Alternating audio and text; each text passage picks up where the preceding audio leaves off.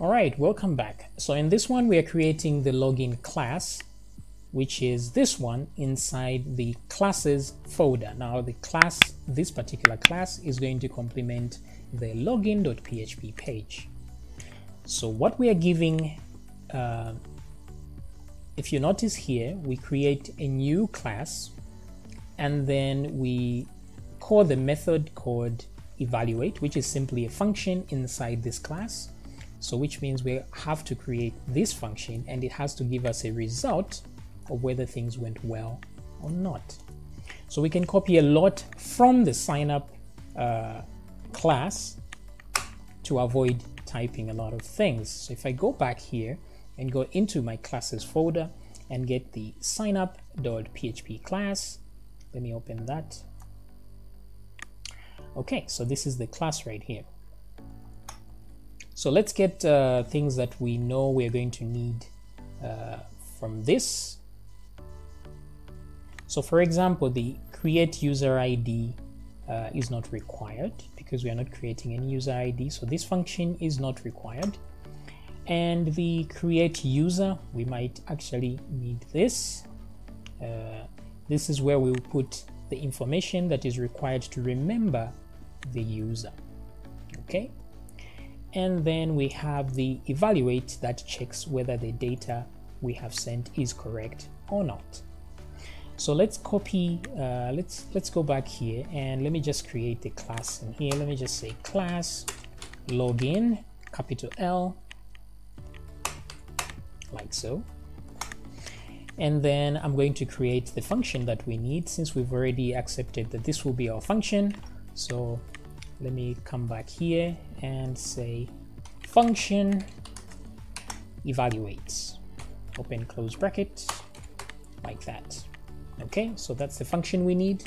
And I know that we're going to need this error because we might encounter some errors so I'm going to copy that as well here. Okay. And what else can we salvage from here?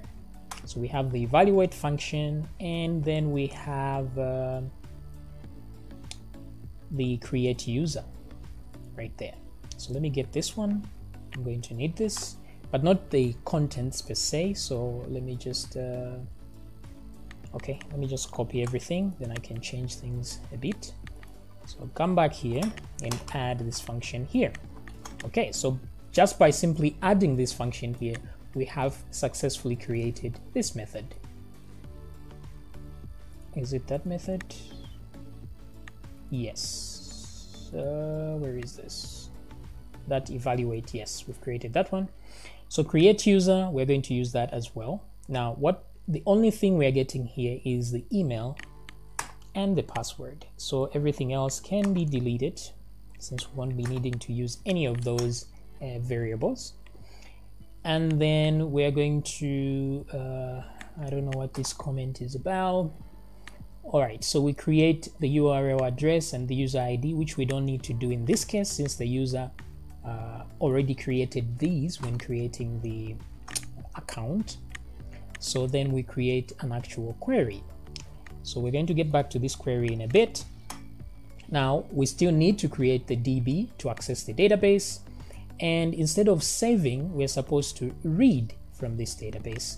So I'm going to say read now remember we are using the read here because that's a function that we have in the database class. So let me open this database class just to refresh your memory a little bit.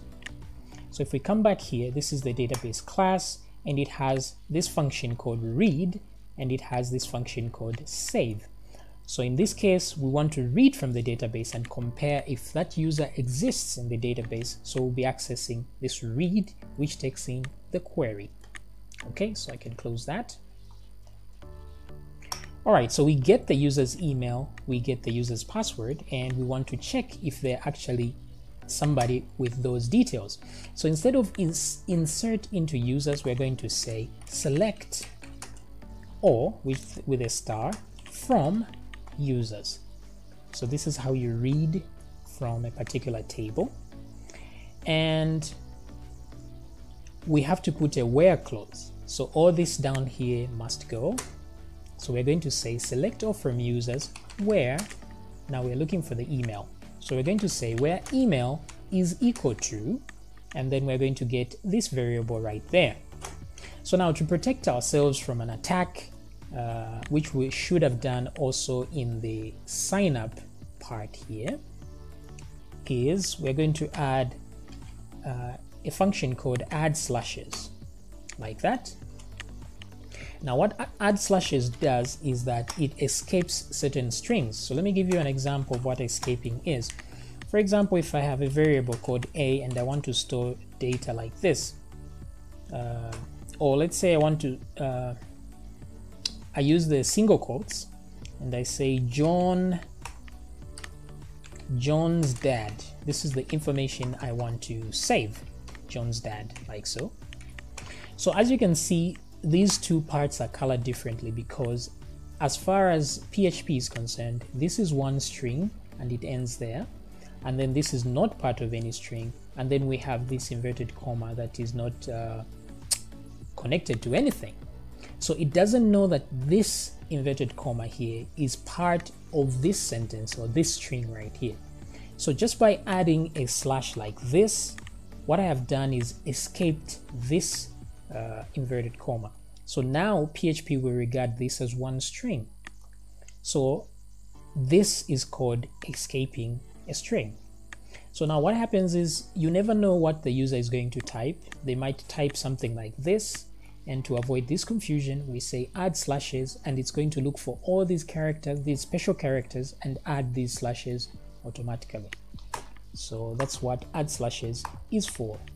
So we're going to copy that and add it here.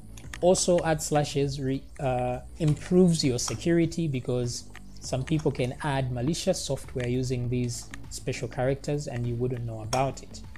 So by doing this, you are securing your website.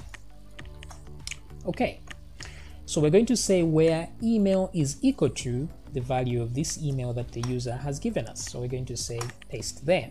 So select all from users all means all the columns from users, which is the table, where email is equal to this email. Now this is a string, remember that, so we have to put uh, single quotes around it like so. So where email is equal to email, and then we're just going to tell it to limit one. So we're telling it to limit to one row, just to return one row. Whichever it is, the first one that it finds, it should return that one because there should only be one user with this particular email. Okay. So once we do that, we're going to create the new DB class and then read from it. Okay. Now this time, since this read returns a result, because this is how we designed it ourselves. So I'm going to say result is equal to so that I get an actual result. So if I do get a result here, it means this user actually exists. Okay. So if result like that, if we get a result, let's check if the password is correct as well. Okay.